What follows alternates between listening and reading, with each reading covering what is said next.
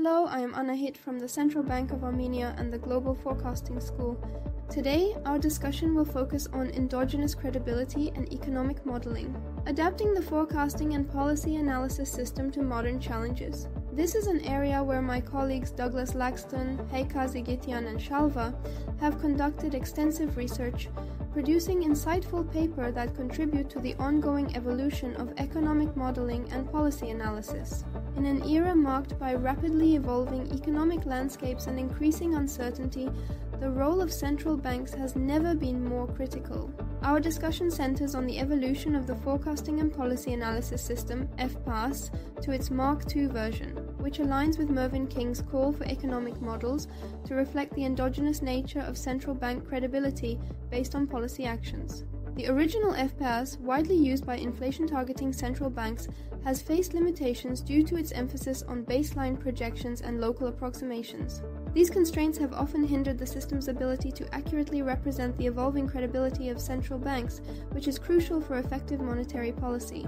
While limited resources are often perceived as a barrier to success in the complex world of central banking, this perception is far from the truth. The effectiveness of a central bank is not determined by the size of its budget or the scale of its resources, but by the strategic use of those resources, combined with innovative practices and a commitment to transparency. Several smaller central banks have exemplified this principle through their exceptional transparency and innovative policy practices. For instance, the Reserve Bank of New Zealand and the Riksbank have been pioneers in adopting transparent communication strategies. These banks provide detailed reports on their monetary policy decisions, publish their economic forecasts, and engage in public discussions about the rationale behind their actions. Such transparency not only enhances the credibility of their monetary policy, but also fosters greater public trust and understanding.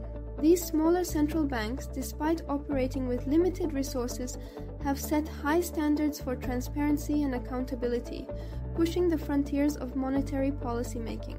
Their success stories serve as powerful examples, proving that even with smaller budgets, it is entirely possible to maintain high levels of analytical rigor, public engagement, and effective policy execution. These institutions exemplify that success in central banking is less about the scale of resources and more about strategic innovation and a commitment to best practices.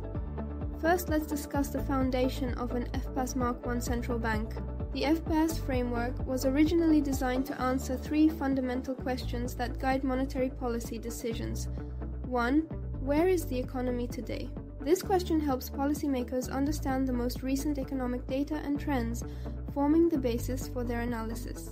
2. What are the underlying forces in the economy? This question encourages a deeper examination of the factors driving the economy challenging conventional assumptions like the natural rate of unemployment, potential output, and inflation expectations.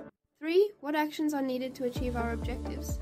This final question is critical, as it defines the policy path necessary to meet economic targets, ensuring that the central bank's credibility is maintained through consistent and well justified decisions.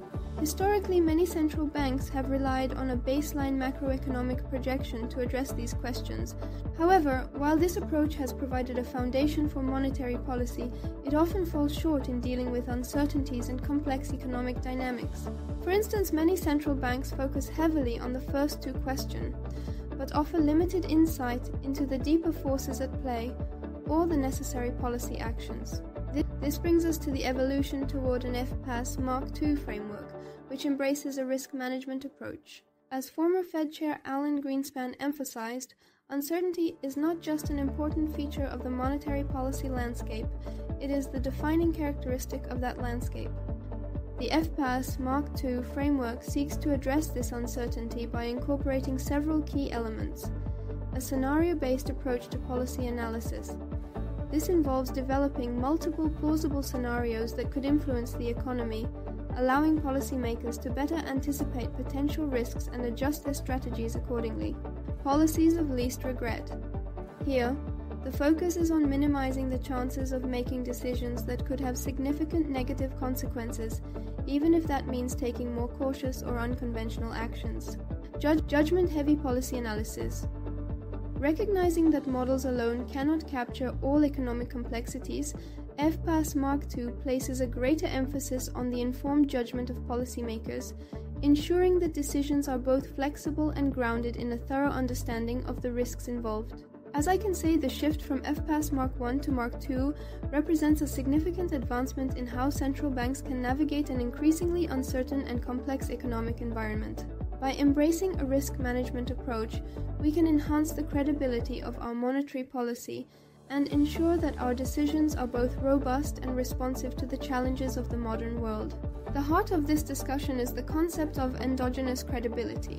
This is the idea that a central bank's credibility is not static, but evolves based on its actions and the public's perception of its commitment to its targets. Specifically, when inflation is high, a central bank might need time to build or restore its credibility. If the public doubts the central bank's ability to control inflation, expectations can shift, making it harder for the bank to achieve its targets. The concept of central bank credibility has been around since the early days of inflation targeting. Credibility is critical because it ensures that when a central bank sets a target, the public and markets believe in its ability to achieve it. Central bank credibility in this framework means a credible macroeconomic framework where Long term inflation expectations are anchored in bond markets and by wage and price setters. Effective transmission mechanism, which includes how well real interest rates and exchange rates function as shock absorbers. One model that exemplifies this approach is Endocred. It offers a sophisticated framework for understanding and managing credibility. Here's how it works 1. Endogenous policy credibility. Endocred starts with the assumption that credibility is not fixed. In periods of high inflation, policymakers may either build credibility gradually or risk losing it if their commitment is questioned. This dynamic process is crucial because it reflects how real world perceptions of credibility change over time. 2. Nonlinearities. Unlike traditional linear models, Endocred includes nonlinear elements. For instance, the model incorporates a convex Phillips curve and a nonlinear credibility process. These features better capture the complexities of how inflation expectations evolve. 3. Monetary policy loss function. Instead of relying on a standard reaction function, Endocred uses a loss function that accounts for the cost of deviations from inflation targets, potential output, and interest rate fluctuations. This approach offers a more comprehensive view of the trade offs central banks face. Endocred illustrates the adaptability of semi structural models to address key challenges central banks face. It helps in strategizing for scenarios where inflation expectations are not well anchored and provides insights into restoring credibility and managing the effective lower bound of interest rates. So let's look the example of US. To track the Fed performance, we utilize the sticky price index from the Atlanta Fed. This measure is particularly valuable because it captures prices that adjust infrequently, offering insights into underlying price setting behavior in the economy. A common example of a sticky price is the cost of haircuts. Typically, such non traded services, which require domestic labor, adjust periodically in response to underlying inflation trends, influenced by both demand and supply dynamics. These graph reveals a compelling narrative about the evolution of Federal Reserve credibility over time.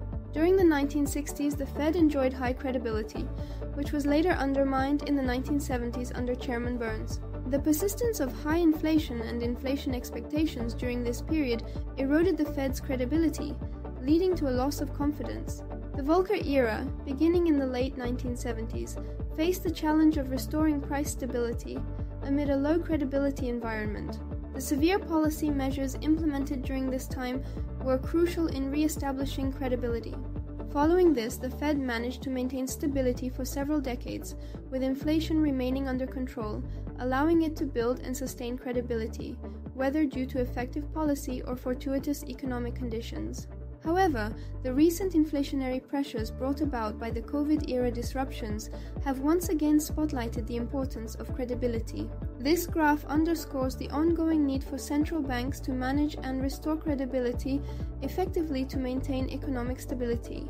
In our upcoming paper, we extend the model to compare the United States and the Eurozone, focusing on how credibility, or its absence, impacts the monetary transmission mechanism, particularly the exchange rate. If this mechanism isn't functioning properly, urgent and decisive action is necessary. Let's consider the period following the global financial crisis. A strategic approach would have been to lower interest rates immediately to their minimum, which could have significantly reduced the risk of the Eurozone getting stuck in a prolonged low inflation trap. This would have also better prepared the region for the challenges of the COVID 19 pandemic. Unfortunately, the Eurozone found itself trapped in a low inflation environment, with inflation expectations far below the target. In contrast, the United States managed to keep its inflation expectations well anchored. Then, as the pandemic hit, uncertainty caused inflation expectations to drop even further in both regions, affecting both supply and demand and lowering inflation in the short term. Under normal circumstances, when inflation expectations decline, a central bank would reduce interest rates, leading to a depreciation of the exchange rate. This depreciation would help close the output gap and bring inflation back to target levels. But the European Central Bank faced a unique challenge. It was already operating with interest rates at their effective lower bound. As a result, real interest rates increased, putting additional upward pressure on the exchange rate when what was needed was a depreciation. This only deepened the Eurozone's low inflation trap. As we moved into the post pandemic period, central banks began tightening their monetary policies. This, however, introduced new challenges. High levels of debt meant that raising interest rates too quickly could spark a fiscal crisis. The European Central Bank, in particular, was slow to respond, which created an interest rate differential and further complicated their efforts by depreciating the euro at a time when inflation was already a significant concern. Looking forward, while the macroeconomic situation may have stabilized, the path ahead remains precarious. Another inflationary shock could easily reverse the disinflation progress made over the past couple of years, particularly if underlying inflation, driven by non traded sticky prices, remains elevated. This scenario would not only challenge the perceived tightness of monetary policy, but also raise questions about the true neutral interest rate. Thank you for joining us today. We hope this discussion has provided valuable insights into the evolving nature of economic modeling and the role of central bank credibility. Stay tuned for our upcoming paper, where we'll delve deeper into these topics. Until next time, keep exploring the world of economic policy with us.